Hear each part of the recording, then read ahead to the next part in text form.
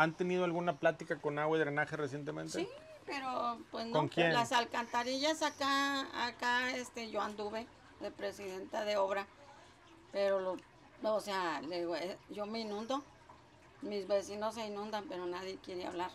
¿Por qué? Porque dice el cabo ni hacen caso, no hacen caso y, y, este, pues necesitamos algo.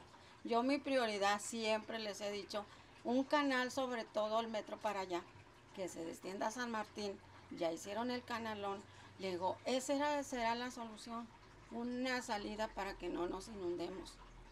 Está llegando agua, pero está saliendo.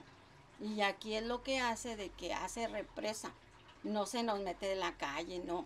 No, el tema es que le, pusieron un obstáculo al Sí, agua. al agua. Sí, y aquí es arroyo natural.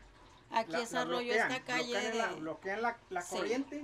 No la dejan que fluya, no la dejan que fluya. Exacto, y entonces por eso se Y, inunda. se, y se, se, se está regresando, se está regresando, Ya se deja de llover y se va.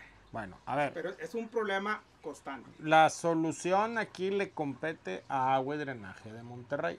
Mm. No le compete al alcalde, sino le compete al director de agua y drenaje de Monterrey. El alcalde pudiera hacer algunas obras este, de mitigación, Ajá. pero el problema de fondo lo tiene que solucionar agua y drenaje. ¿Cómo? Ya sea cambiando el colector, un colector más grande, lo que usted dice de abrir un canal a- abierto.